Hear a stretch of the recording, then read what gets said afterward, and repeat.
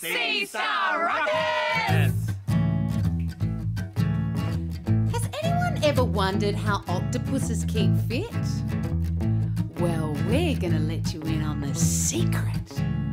Tentacle twist, tentacle twist. Wave those legs about and then make a fist. Tentacle twist, tentacle twist. That's how octopuses keep They can't touch their toes, cause they've got it at those. They can't clap their hands, cause they get in a jam.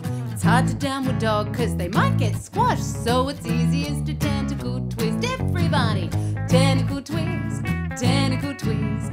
Wave those arms about and then make a fist. Tentacle twist, tentacle twist. That's how octopuses keep fit. Wonderful octopus twisting, everybody. But it's not over yet. They can't jump on the spot cause they tie in a knot. They can't go for a skip cause they tentacle trip. They can't kick the ball cause they just slip and fall. So it's easiest to tentacle twist. Everybody, tentacle twist, tentacle twist. Wave those legs about and then make a fist. Tentacle twist.